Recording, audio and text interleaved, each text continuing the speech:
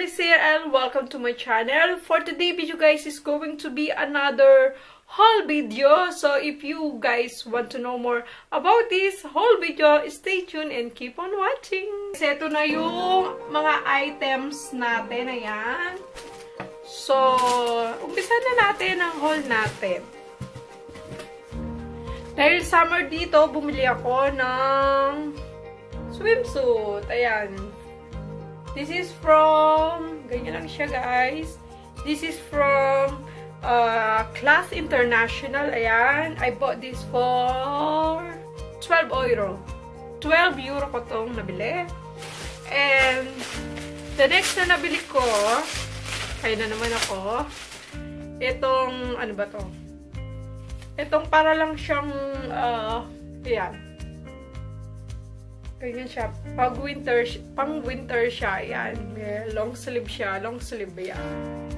At, this is from Sarah Kern. Ayan. Nabili ko lang to ng 10 euro. Yeah, 10 euro. Ang sunod is, ito, bulaklakin lang siya na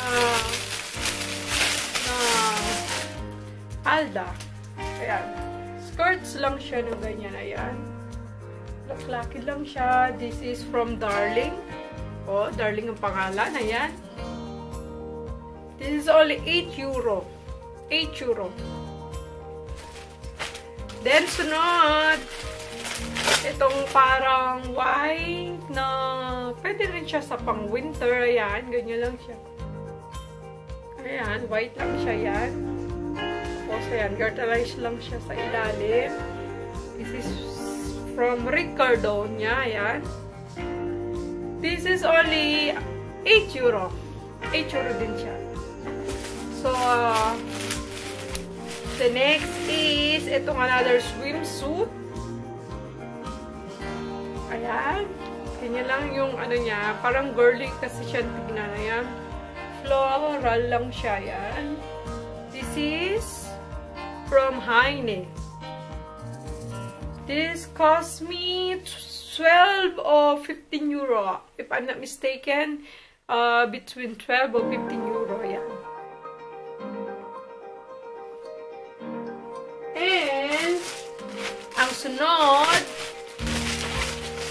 itong, wala lang, plastic lang siya, itong,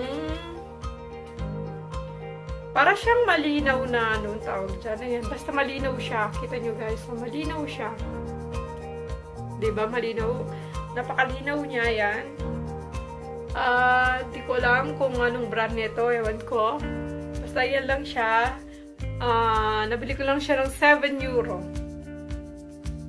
Yan, ganyan lang siya. Dapat pag susutin mo ito, magsuot ka ng spaghetti o kaya yung bralette sa loob para hindi naman siya ganong bulgar. Ayan. For 7 euro. Kung interesado kayo guys sa mga item na to, ilalagay ko sa screen dito yung per cover. Pwede nyo, yung per cover, I mean yung seller, para may check nyo rin kung gusto nyo lang bumili guys. And disclaimer lang guys, hindi po sponsor ang video natin for today. At, ang sunod, eto, uh, parang jumpsuit to, kung di ako nagkakamali dry sausage. Ayan. Para siyang ganyan siya, guys. Ayan. Ganyan lang siya. Jump shoot, jump shoot siya na, ayan. Ganyan. Tapos, itatali mo lang siya rito. May tali lang siya rito. Ayan. Ang ganda ng tela niya. Ayan para magganyan siya, pag suotin mo siya, parang formal pa rin siya. Yan. Kasi, ganda siya. Uh, oh, sa dry shoes nga to, yan guys. And this cost me 12, 10 or 12 euro also. And the next, the last but not the least, dalawang leggings. Jegging siya actually. Ganyan lang siya guys. Yan, jeggings. Tapos, maganda naman yung sa loob niya. Parang warm siya. Good for winter. Ayan. Yan siya. Tapos skinny na rin siya. The same time, dalawa sila. Ayan. Ayan. 15 euro itong dalawang to. So, parang pumapatak na 7.50 ang isa. Okay na rin. Good price na rin siya. So, yun lang guys, ang mini haul ko for today. At kung interesado kayo, lalong-lalo na yung mga Pilipina dito sa Germany, kung gusto nyo ring bumili ng mga bagay-bagay na yan, o ng mga bagay na ito, pwede kayong kumontak sa seller. Lalagay ko rito yung ano niya, yan, dyan para kung may interesado, makabili din kayo kasi napaka-reasonable at napaka-affordable ng kanilang mga item. So, that's it for today, guys!